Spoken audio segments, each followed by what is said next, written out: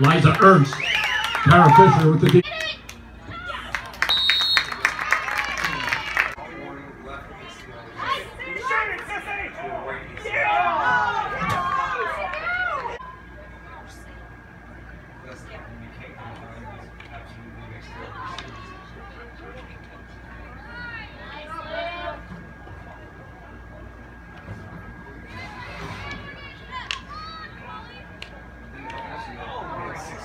I think we were really hungry for a, finally a win in our conference, so we were really pumped up. We're at home, so we decided to just bring it out and we gave it all we got. I think we just need to work on our teamwork. We work great as a team, and I love my team, so we just pass around, we do our thing, and we get things done.